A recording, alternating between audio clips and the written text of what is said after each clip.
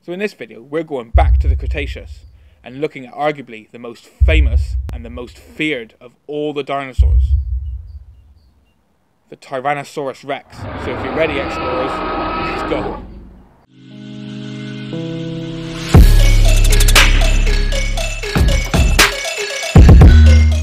Hey there and welcome to Simple Home Science. My name's Chris and on this channel we do experiments, science vlogs and documentary style videos just like this one to help make science simple, fun and educational for children of all ages.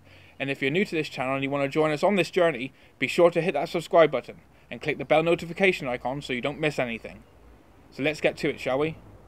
When we talk about carnivorous dinosaurs, the species that most people first think about is the infamous Tyrannosaurus rex, one of the largest land predators to ever exist Tyrannosaurus rex, or T-Rex as it's also known, gets its name from a mix of ancient Greek and Latin that translates as Tyrant Lizard King, and this dinosaur really did live up to that name.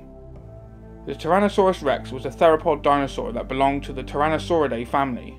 Theropod dinosaurs were bipedal, this means they walked on two legs. T-Rex had a huge head, its jaw alone could grow to around 1.2 meters, which is 4 feet in length. This huge head was counterbalanced by strong thighs and a powerful tail.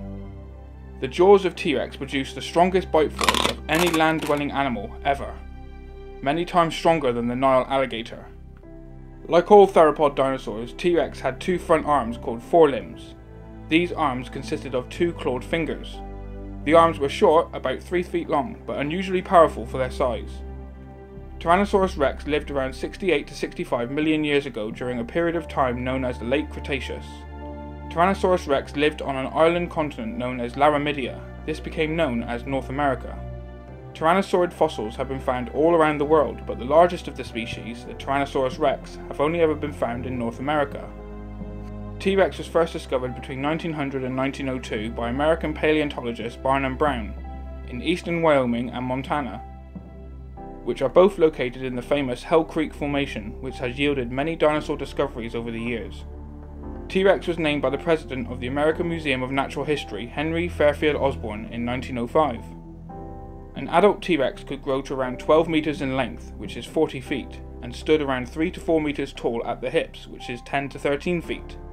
Stood fully upright, they could reach heights of up to 6 meters, which is 20 feet, and could weigh anything between 8 and 14 metric tons.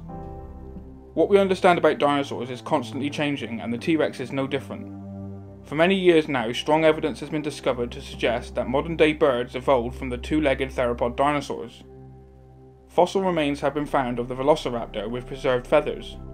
It is now believed that the Tyrannosaurus rex had feathers on some parts of its body at some point during its life cycle.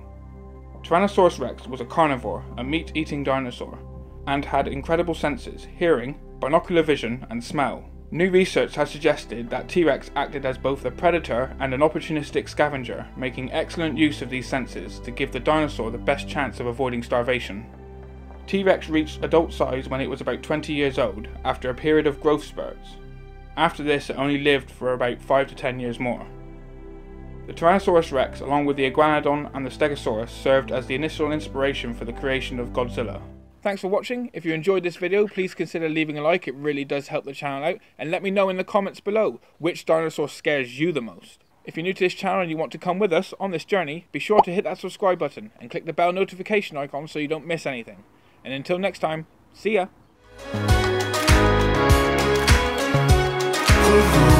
this is far